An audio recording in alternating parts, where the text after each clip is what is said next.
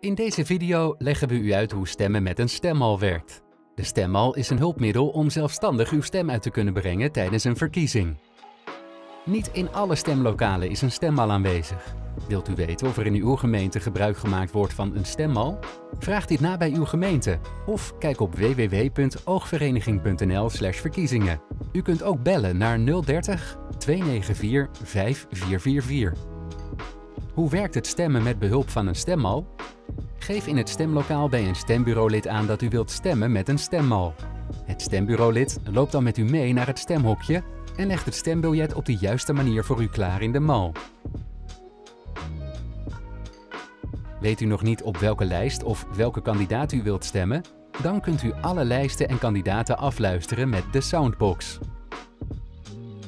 De Soundbox heeft een hoofdtelefoon, maar u kunt ook uw eigen hoofdtelefoon gebruiken.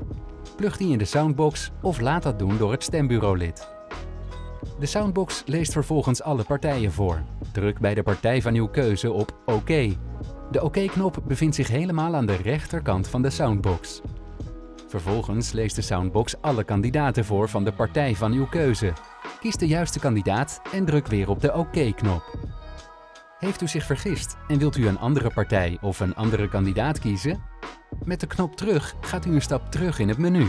De terugknop vindt u helemaal aan de linkerkant van de Soundbox. Onthoud het nummer van de lijst en het nummer van de kandidaat van uw keuze. Deze heeft u nodig om hierna het juiste rondje in te kunnen kleuren met behulp van de stemmal. De Soundbox zal uw keuze niet onthouden of vastleggen. Uw keuze is dus anoniem. Dan is het tijd om het juiste rondje in te kleuren op het stembiljet. Zoek eerst de partij van uw keuze. Van links naar rechts vindt u alle partijen.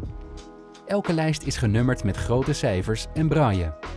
Zoek vervolgens de kandidaat van uw keuze. Van boven naar beneden vindt u alle kandidaten die bij die partij horen.